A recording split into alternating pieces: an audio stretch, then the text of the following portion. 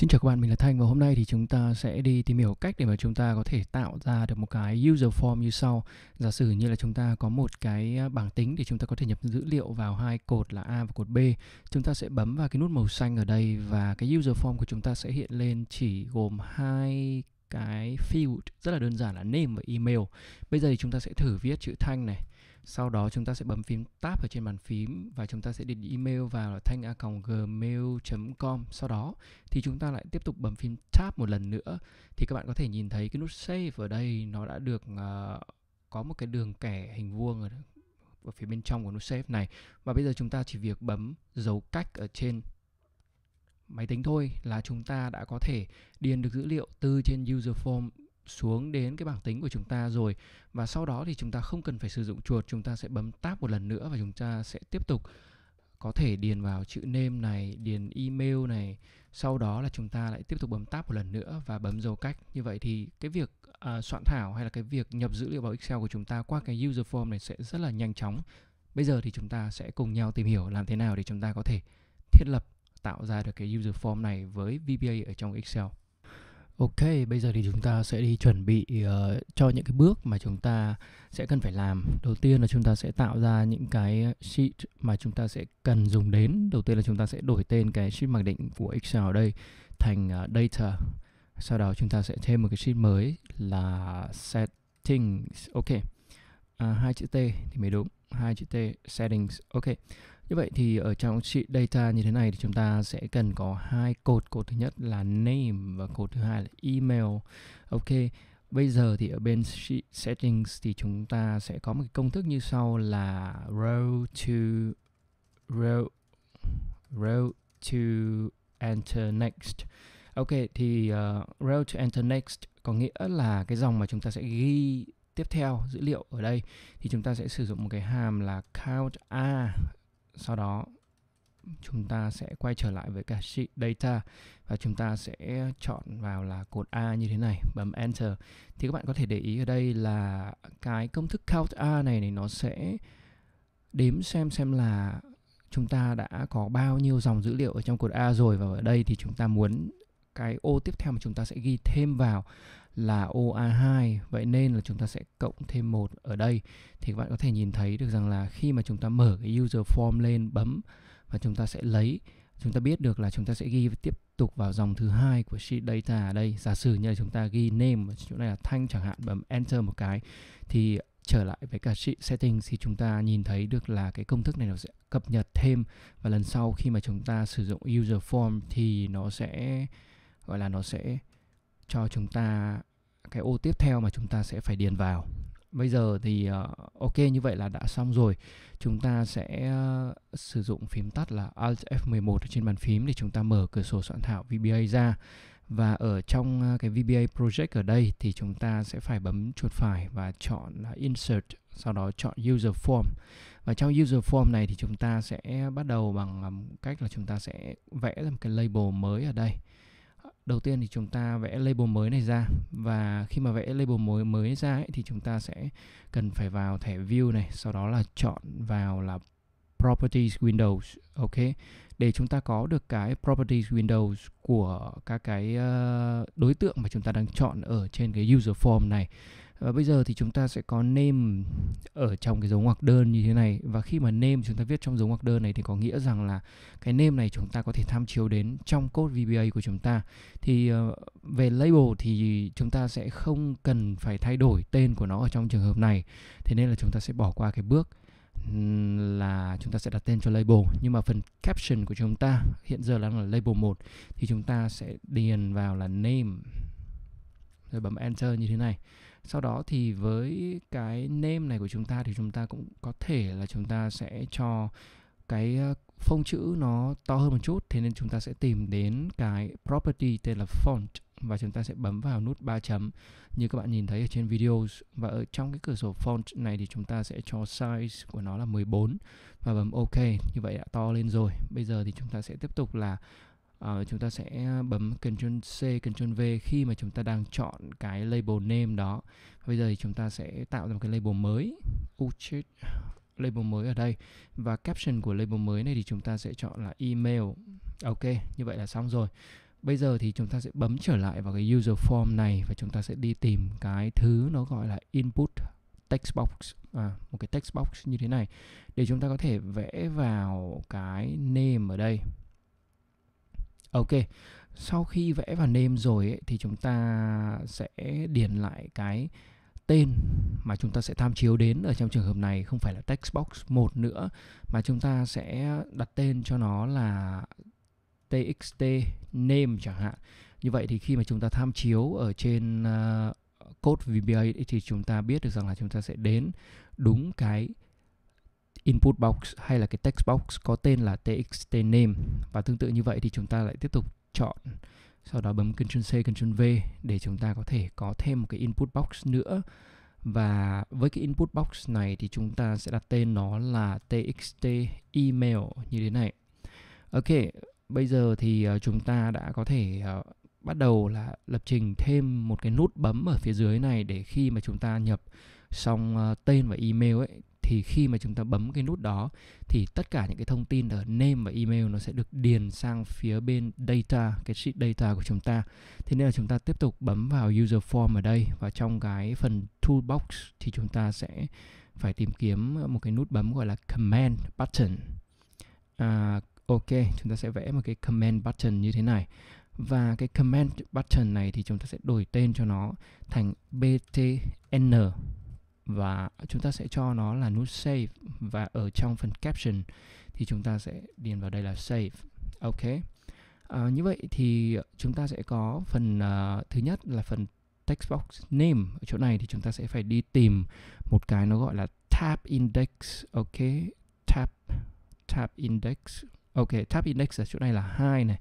Và tab index của cái input box email là bao nhiêu? Là 3 và bây giờ thì chúng ta sẽ xem xem là cái tab index của cái nút save này là gì, là 4 thì cái tab index này nó có ý nghĩa như thế nào thì chúng ta sẽ thử bấm nút play ở đây.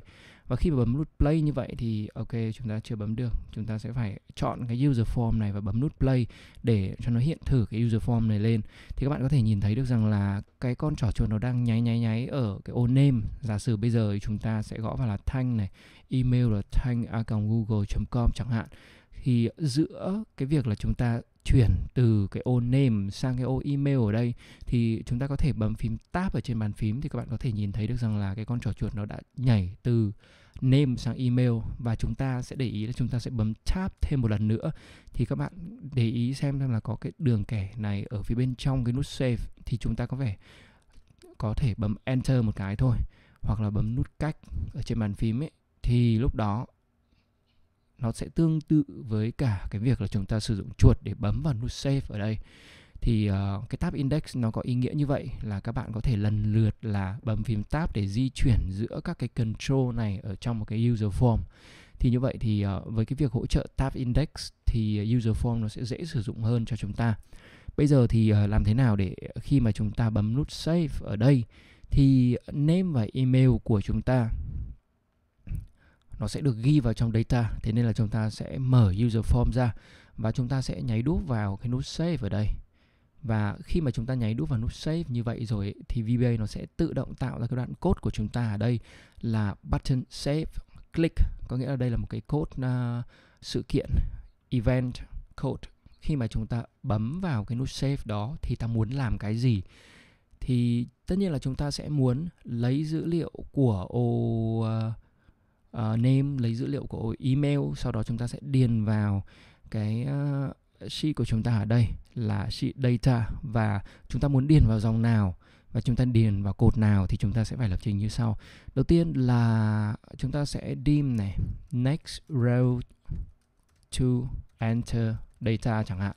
Ok, nếu mà cái tên này quá dài chẳng hạn thì các bạn có thể tạm thời gọi là row num as long sau đó thì cái row 5 này thì chúng ta sẽ phải tính toán từ đâu? Row 5 này thì chúng ta sẽ phải tính toán là ở trong cái sheet settings ở đây này, thì chúng ta sẽ gõ vào đây là sheets có chữ S ở đây, mở ngoặc ra, mở ngoặc kép và settings. Sau đó thì chúng ta sẽ nhấn vào là range. Chúng ta không biết là range là ô nào nên chúng ta sẽ quay trở lại bảng tính của chúng ta thì chúng ta xem. Chúng ta sẽ phải lấy range ở trong OB2 ok, trong OB2 như thế này, chấm value. Như vậy là chúng ta đã có row 5 rồi. Và để mà lấy được dữ liệu từ trên cái à, text box name ở đây, thì chúng ta sẽ làm như thế nào? Thì chúng ta sẽ làm như sau. Chúng ta sẽ trở lại cái phần code của cái nút save này. Chúng ta sẽ viết như sau. Đầu tiên là chúng ta sẽ viết là sheet 1 không, chúng ta sẽ viết là sheet mở ngoặc ra. Data, đóng ngoặc lại chấm range mở ngoặc uh, name sẽ là cột A và cột A thì sẽ là row 5 row 5 chấm value. Thì chúng ta sẽ gán vào bằng là txt name chấm value như thế này chẳng hạn. Và tương tự như vậy thì chúng ta sẽ copy cái đoạn code ở đây. Một lần nữa sau đó chúng ta sẽ dán u uh, dán nhầm chỗ. Chúng ta sẽ dán vào sheet data này và cột B và ở đây không phải là txt name nữa mà là txt email. Ok như vậy bây giờ thì chúng ta sẽ thử xem xem là cái user form này của chúng ta có hoạt động hay không. Và để mà chúng ta có một cái nút bấm khi mà chúng ta bấm vào nút đó ở trên bảng tính của chúng ta thì chúng ta sẽ cho hiện cái user form đó lên chẳng hạn. Thì để làm được điều này thì chúng ta sẽ phải uh, bấm chuột phải chọn uh, thêm một cái module. Và trong module này thì chúng ta sẽ viết một cái sub mới. Sub này sẽ có tên là show user form. Và trong sub này thì chúng ta sẽ điền là user form chấm, ok, nó sẽ là user form 1 chấm show như thế này. Và chúng ta sẽ quay trở lại với cả cái bảng tính Excel của chúng ta, bấm vào thẻ Insert, chọn Illustrations, chọn shapes, sau đó chúng ta sẽ vẽ ra một hình chữ nhật ở đây. Và chúng ta sẽ bấm chuột phải vào hình chữ nhật đó, chọn Assign Macro, sau đó chọn Show User Form, chọn OK. Bây giờ thì chúng ta sẽ bấm thử vào và đây là cái user form 1 của chúng ta. Chúng ta sẽ điền thử và đây là thanh này. Email của chúng ta thì là gì? Email của chúng ta sẽ là thanh google.com chẳng hạn. Rồi chúng ta sẽ bấm nút save.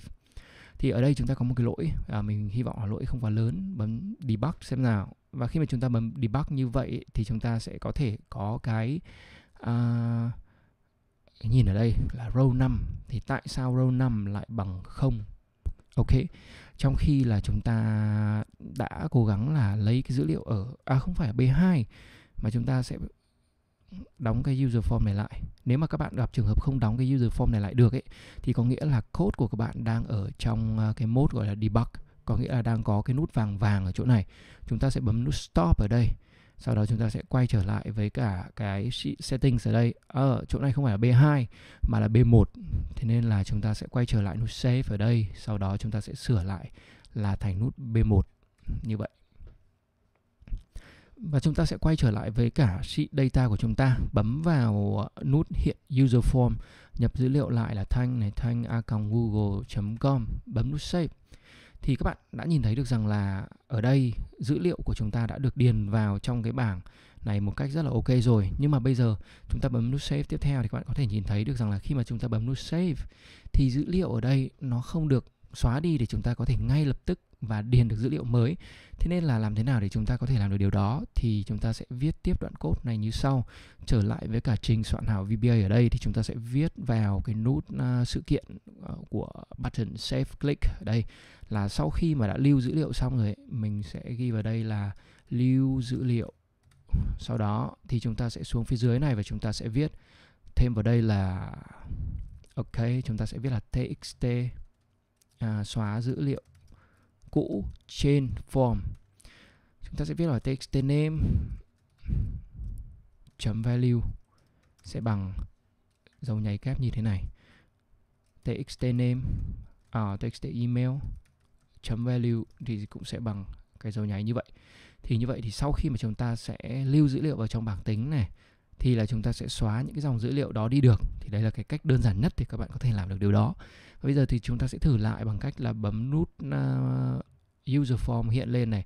Đầu tiên là user form thứ nhất thì chúng ta sẽ viết là Nguyễn bấm tab một cái này sau đó thì chúng ta sẽ viết vào đây là nguyễn a google.com sau đó chúng ta lại tab một cái nữa thì chúng ta nhìn thấy được là cái nút save này nó đang được chọn và chúng ta sẽ bấm nút dấu cách ở trên bàn phím thôi. Thì các bạn có thể nhìn thấy được rằng là sau khi mà chúng ta save xong ấy, thì dữ liệu nó được lưu vào trong thẻ data, sau đó là input box của chúng ta đã được xóa đi. Và khi mà chúng ta bấm tab thêm một lần nữa ấy, thì cái con trò chuột nó lại trở về với cả cái ô name tiếp theo. Và chúng ta sẽ có thể điền tiếp là đức này đức a gmail.com chẳng hạn. Tab một cái nữa bấm dấu cách thì dữ liệu của chúng ta lại trở về với cái sheet data. Thì với cái cách làm như vậy thì các bạn có thể nhập liệu rất là nhanh chóng với cái user form này và chỉ sử dụng bàn phím thôi bây giờ thì chúng ta có thể làm gì nữa một cái cách hay ho nhỉ? Ví dụ như là đấy là cái cách để chúng ta có thể ờ, điền dữ liệu nhanh rồi.